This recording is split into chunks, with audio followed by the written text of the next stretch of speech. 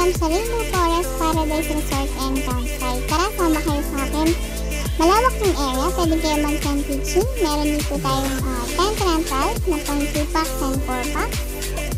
At meron po tayong other activities like zipline, spider web, and boating. Pwede po dito ang couple, families, groups, team building, at other occasion po like birthday and anniversary. Ayan, tapos, yan po yung mga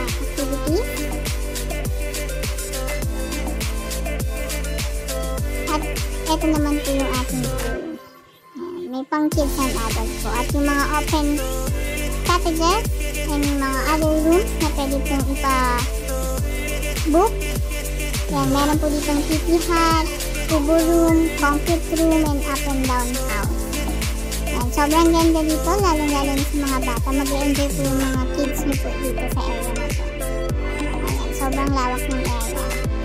At ito po yung mga rates. Kung may mga katanungan kayo, pwede po kayo mag-direct message po sa mismong page po ng Rainbow Forest. Ayan, sobrang ganda dito. Talagang sulit na sulit ang pagpunta niyo dito. Ayan, kapag may mga katanungan kayo, message na po kayo. Ayan po.